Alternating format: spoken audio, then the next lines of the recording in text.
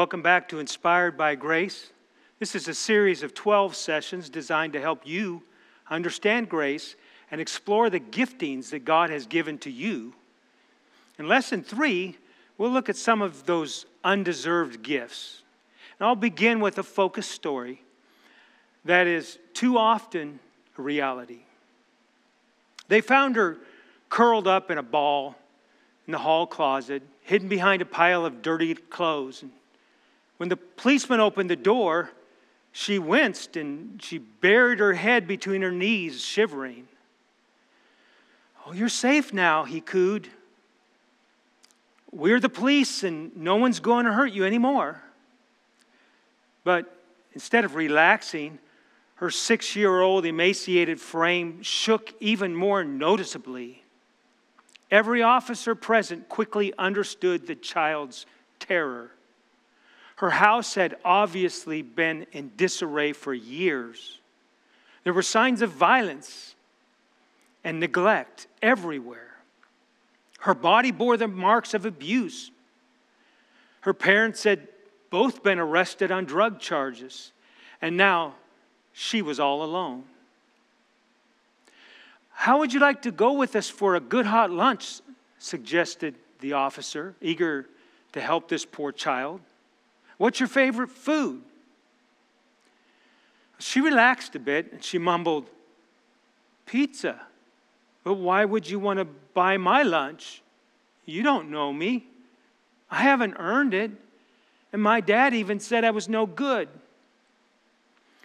Thus began a long process of trust building conversations to help this abandoned child believe that there are good people in the world strangers who will do nice things and give you gifts, even if you have nothing to earn their kindness. She could not believe someone would take her to dinner just to be nice. She'd never dared to believe she'd ever be free to make her own decisions. The thought never crossed her mind that she actually had any value. This little girl could represent so many people who have experienced a life of pain, neglect, and abuse. Years of imprisonment in a loveless situation have understandably caused many people to become hard and skeptical. Life has taught them that they're not worthy. People have treated them so poorly that they feel worthless. Then, when someone comes along and offers them grace, undeserved favor, they react with suspicion and fear. They have an even harder time believing that there's a good God who offers a heavenly home to those who will let him be their God. It sounds too good to be true. But the good news of the gospel is not just the news that all sins can be forgiven, it's the news that Jesus wants to join his spirit to ours and give us all the internal love and power that we need to live an abundant life. God not only forgives, He gives free gifts to His children. Just by believing and obeying God, someone can move from being alone and rejected to being an integral part of the greatest endeavor of all time. They can move from being derided to being affirmed. They can leave their closet and enjoy blessings unlike they have ever known. The enemy accuses, berates, and controls. God affirms and blesses, sets people free to be the best they can be. God gives obedient believers meaningful roles in his kingdom. He does wonderful works through them, and all of this on his dime. It's not because we're good, it's just because he's righteous and good and loving. He uses the imperfect the wounded, the intimidated. All they have to do is to learn to accept and give His great grace. What a difference when someone is inspired by grace. The concept we're focusing on in this session is true, but it's more difficult to embrace than someone might imagine. Please share your thoughts with your group before we turn to God's Word for more insight.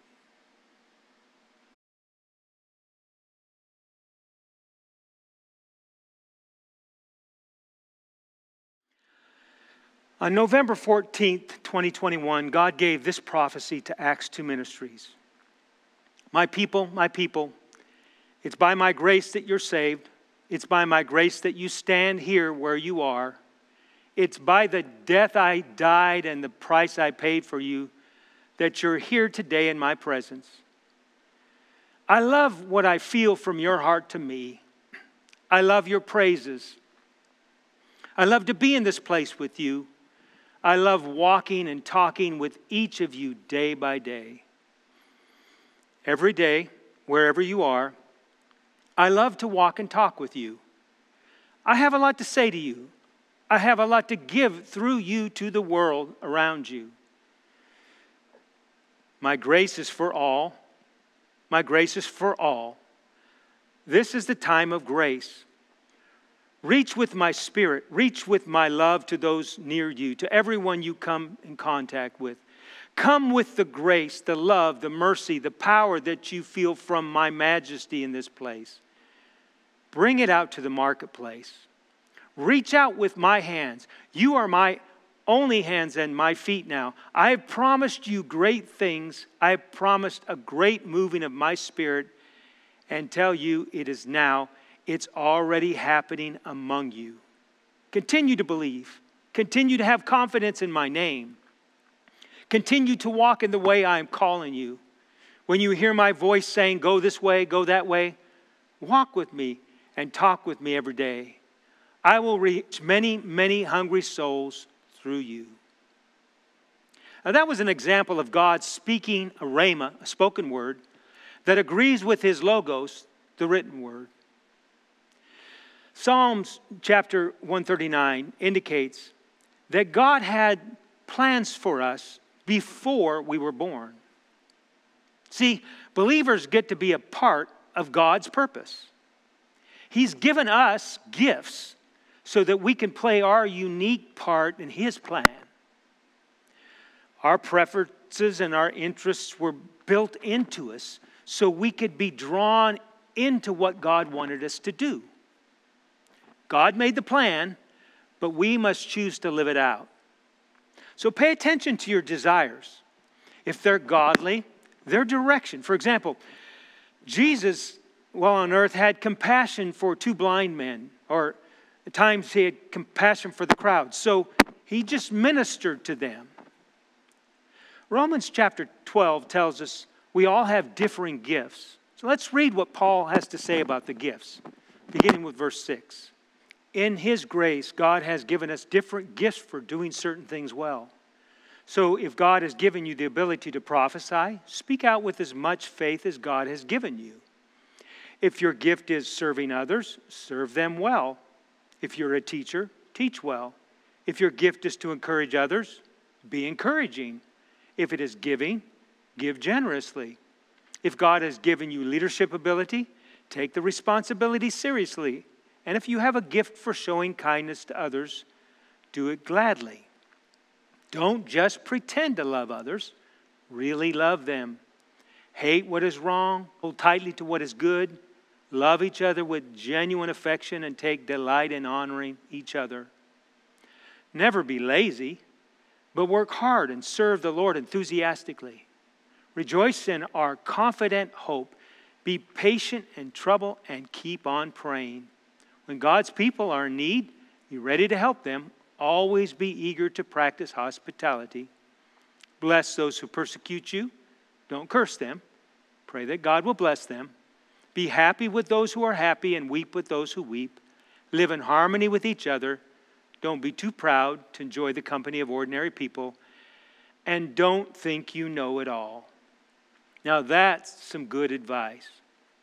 For the rest of this session, We'll unpack the first three gifts mentioned in Romans 12, and we'll look at the remaining four gifts in session number four. The first of these gifts is the prophetic. Verse 6 said, So if God has given you the ability to prophesy, speak out with as much faith as God has given to you. Prophetic people tend to see things in black and white. They tend to get angered by injustice and have a strong sense of morals and values. Like John the Baptist, who called for repentance, but the prophetic need to be careful not to be too harsh and rigid. The second kind of gifting mentioned was ministry or service. Verse 7 if your gift is serving others, serve them well. Now, the Greek word there is diakonia, which means waiter. So people with this gifting kind of see what others don't see, and they're really hospitable, like Martha was. They're sensitive to other people's needs. What they have to guard against is they can get overcommitted or they might become a people pleaser. And then the third kind of gifting mentioned is teaching. Verse 7 if you're a teacher, teach well.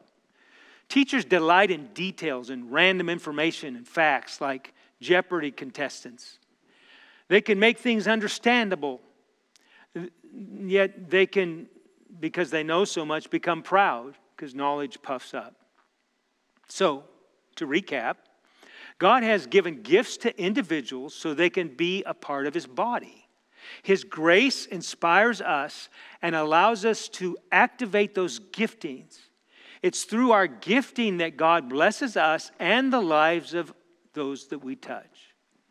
You can do some of that grace giving right now as you finish your discussion and prayer time.